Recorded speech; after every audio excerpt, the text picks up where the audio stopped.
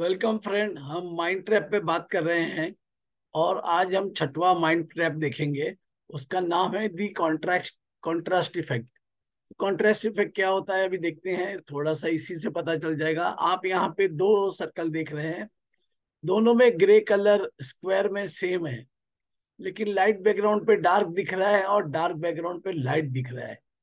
तो जब हम किसी चीज़ से या किसी इवेंट से किसी की तुलना करते हैं तो हमारा परसेप्शन बदल जाता है।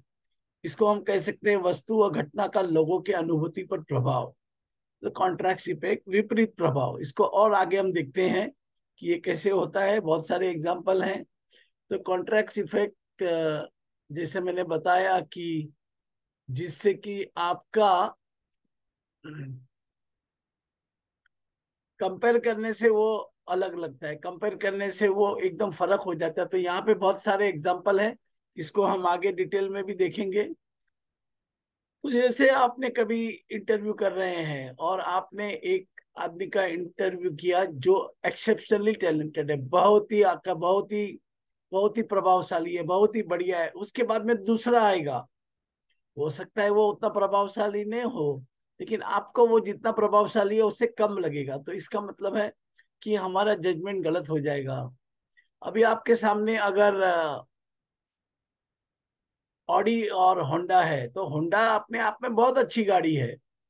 लेकिन ऑडी के सामने थोड़ी फीकी पड़ जाएगी ऑडी का वैल्यू कम हो जाएगा। हालाँकि उसका कोई वैल्यू वैसे कम नहीं हुआ, हमारे परसेप्शन में कम होगा तो यहाँ पे आप देख सकते हो कि एक ही लाइट कलर का बैकग्राउंड अलग अलग कलर के साथ रखा गया तो कैसे बदल जाता है? तो बॉक्स नंबर वन में आपको लगता है कि बहुत डार्क है, दूसरे में लगता है बहुत ही लाइट है, तीसरे में लगता है मीडियम है, यहाँ राउंड में भी आप देख सकते हो। तो किसी भी चीज़ होने से दूसरे चीज़ पे उसका फ़र्क पड़ता है। अभी यहाँ पे आप देखेंगे, यहाँ पे सर्कल है। तो जो ये सर्कल है ग्रीन वाला और जो ब्लू वाले सर्कल है तो ग्रीन वाला सर्कल दोनों में सेम है। लेकिन यहाँ पे वो छोटा लग रहा है और जो छोटे वाले, जो ब्लू ब्लू सर्कल है, उसमें वही सर्कल बड़ा लग रहा है। तो इसको हम कहते हैं कॉन्ट्रास्ट इफ़ेक्ट यहाँ पे आप देख रहे हो तीन टॉय ट्रे गाड़ी है।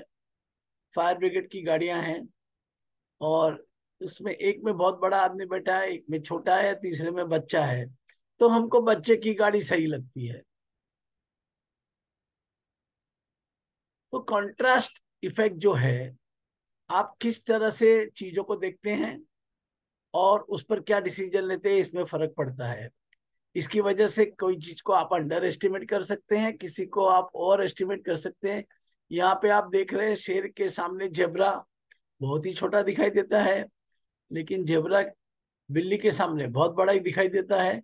तो किसके सामने किसको रखा है, उससे हमारे परसेप्शन में फ़र्क पड़ता है।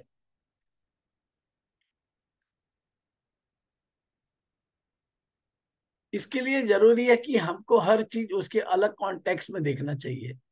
यानी जिराफ को अलग कॉन्टेक्स्ट से देखना है, बिल्ली को अलग कौन से देखना है और शेर को अलग कॉन्टेक्स्ट से देखना है। तो जिससे कि हम ऑब्जेक्टिव हो सकते हैं।